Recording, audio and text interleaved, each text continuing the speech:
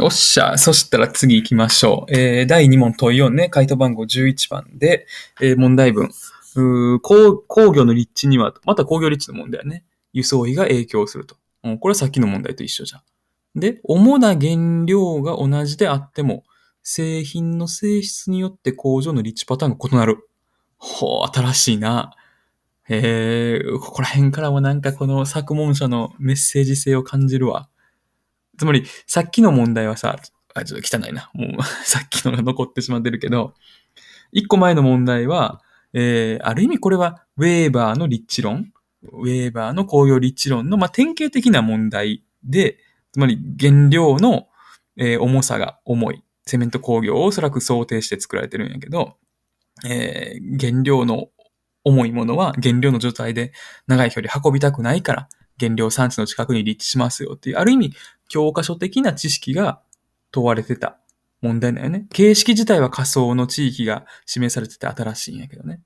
ただ、この問題はもう一歩踏み込んでるね。教科書に載ってないよ、こんな。い？あだから、ちょっともう少し具体的に行くと、なんや、飲用牛乳とバターとアイスクリームの工場がどこに立地するかを聞いてると。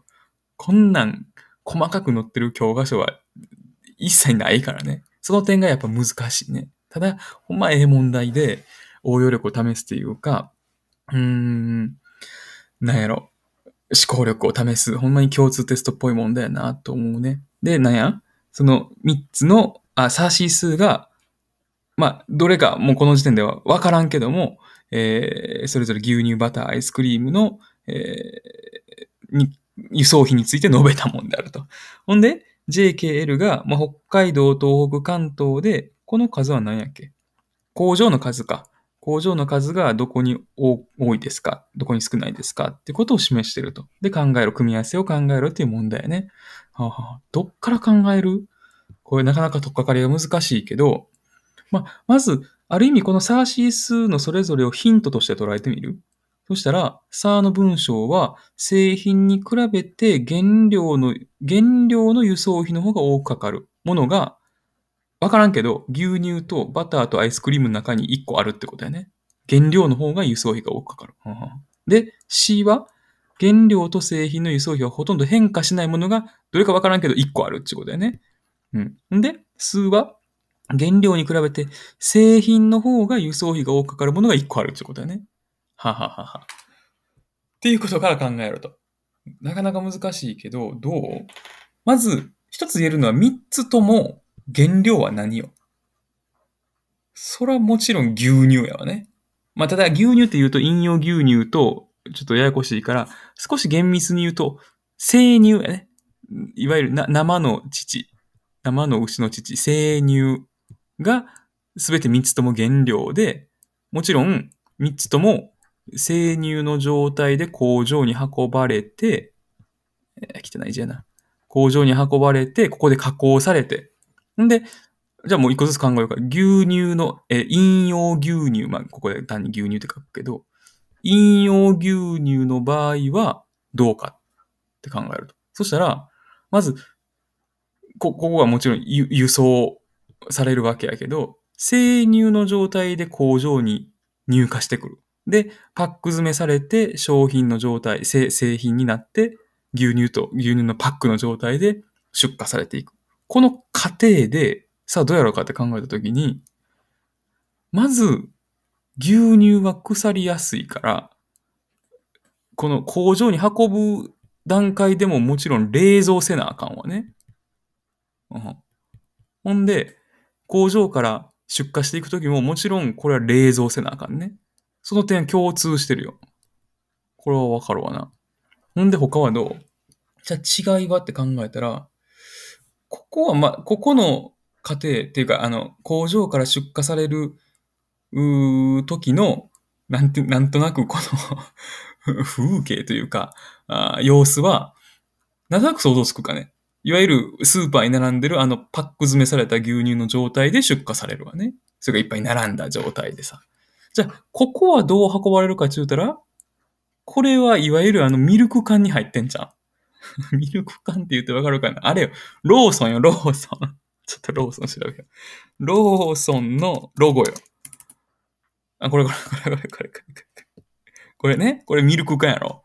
これ多分アメリカのローソンのどっか、オハイオかどっかの、あの、100年ぐらい前に作られた確かロゴやけど、あの、このミルク缶に入れられて、えー、工場まで入荷されるわけやけさ。じゃあ、どうかって考えたときに、どうかな？そない輸送コストって変わらんような気するよね。どちらも冷蔵せなあかん。この大きいミルク缶なのか、ちょっと小分けされたパック詰めなのか、という点が変わるけど、そない変わらなそうやね。ってことから、おそらくこの飲用牛乳が C じゃないやろうかというふうに考える。まあ、ちょっとこれが分かりにくいんやったら、一回飛ばして、バター、アイスクリーム考えてもいいかもしれんけどね。じゃあ次、バターはどうやろうかって考えたときに、これは明確に言えんのは、あどちらももちろん冷蔵せなあかんという点は共通してるから。もうちょっとこれは除外ね。一番違うのは、生乳の状態で工場に運ぶときはさっきと同じようにミルク缶で運ぶんやけど、これは状態は液体やわね。液体の状態で運んでくる。で、加工してバターにすると固体になるわね。うん。ここら辺ちょっと違い出てきたね。で、さらに、じゃあ体積とかを考えるんよ。どうやろうか。生乳からミルク缶で運んできて工場で、多分バターは どうやって作るんやろうな。あまり具体的な製造過程はあんま知らんけど、おそらく、こう分離して、クリームにしてさ、工場でこう、クリームにして、で、それを練って、固めて、なんか塩分かなんかを、塩を加えて、で、バターにすんよね。そしたら、体積は固体にすることで、これ減るよね。確実に。えー、減る減る。やね。で、さらにちょっと小分けの、いわゆる今、皆さんバターをイメージして、黄色雪印でも何でもええわ。つまり小分けされたあの状態になって、運びやすさも増すんじゃん。こう四角形にさ、あの、成形されるわけやから。体積が減ってなおかつ運びやすくなりそうやね。つまりバターはどっちか言ったら、原料の方が液体で運びにくくて、製品にしてしまうと固体でさらに体積が減るから、これ製品に早くしてしまった方がいいよね。つまり、原料の方が輸送コスト高そうやね。っていうイメージでなんとなく湧くつまりだから、おそらくこの文章、サーの文章がおそらくバターなんや。いいで、次、アイスはどうかって言ったら同じように考えると、アイス、クリームにして出荷されるんやけど。もちろん、えー、原料は生乳やね。で、もうさっきと同じように冷蔵されてて、もう液体やね。じゃろ。で、アイスを、さっきのバターの話でいくと、アイスも固体っちゃ固体や。で、体積は確かに減るよ。アイスにしたことによってね。あおそらくなんか添加物とかいろいろ加えるんやけど、体積はおそらく減るんやけど、じゃあ、一番の違いは何かっちゅうたら、さっきから言ってる通り、生乳を工場に入荷するときには冷蔵せなあかんけど、もちろんアイスクリームっていうぐらいやから、ここの製品にした後出荷していく段階では確実に冷凍せなあかんよね。これがもう明確に違うよね。で、それも冷凍言うても、マイナス1、2度ではダメで溶けてまうからね。これ確かアイスはマイナス20度とか30度とか、そこまでキンキンに冷やさんとカチコチにならへんのよね。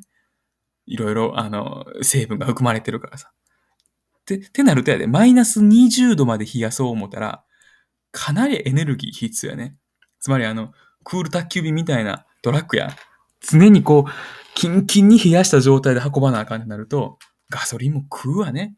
で、その、そもそも、ちょっとその、冷凍に対応したトラックをそもそも導入せなあかんわけやから、それを買うお金もかかるわね。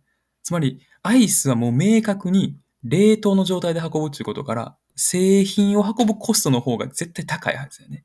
ということから、数が、えー、アイスや、ちゅうことがわかる。まあ、アイス意外と、アイスが一番わかりやすいんかもしれない。この冷凍やっちゅうことに気づけたらね。で、さっきの話、バター、あ気づいて、もし牛乳が、これちょっとわからんなって思ってても、まあ、ある意味消去法的に C が牛乳って決まるんかな。で、ここまで決めてしまえば、あとはいける？どうやろうか？ここで、東日本としてこの、なんや、北海道と東北と関東が示されてるけど、ここから読み取らなあかんのは、まあ、北海道ももちろん、札幌は大都市やけども、それは相対的に考えたら、関東の方が、こっちが都市やね。つまり、言い換えると、こっちの方、関東の方に市場があると。ほんで、北海道はもちろん、この今牛乳の話してるんやから、酪農地帯やからね。特に東側の根泉大師とかね。酪農地帯やから、北海道はどっちか言ったら、原料産地として捉えるべきやと。で、北海道、まあ、東北もどっちか言ったら原料かな。どうやろうか。盛岡とか仙台とか大都市はあるけどさ。だから、こっちが原料で、えー、北海道が原料産地で、関東が市場というふうに考えるね。って考えたときに、じゃあ L がわかりやすい？関東に工場が多くて、北海道原料産地に、え、工場が少ない。これは何を意味してるかっつうたら、製品の状態で、長い距離運びたくない。アイス、冷凍、先から言ってる通りコストが高い系ね。こういうアイスの場合は、市場の近く、都市の近くで製造した方がコストが安いね。っていうことから、あ L がアイスクリームやっていうことがわかると。ほんで、逆に K は、えー、北海道、原料産地で多くて、相対的に市場で少ないと。これはバターやね。えー、つまり、この製品化した方が固体になって体積が減るから運びやすくなる。バターにした方が運びやすくなる。ということは、逆に言うと生乳の状態、えー、原料の方が輸送コストが高いと。つまり、もう原料産地、生乳が取れる、その原料産地で早くバターにしてしまった方が、全体的なコストが安いっていうことだよね。つまりだからこの K がバターになるっていうことだよね。ほんで残り、えー、それぞれ均等に、えー、分布している、立地している。これが、備えその、原料の段階と製品の段階で、えー、輸送コストが変わらない牛乳やっちゅうことがわかるかな。これで答え決まるかなと思います。いあだから何？えー、JKL、サシス。おわからんもん。えー、っと、だから、えー、J が C やね。うーん、せやから、ね、ここれ、これとこれか。ほんで、さーがバター。で、えー、あ、これわかりにくいな。さーと、あ、K が一緒か。つまり、これか。3番が答えってことだよね。はい、以上です。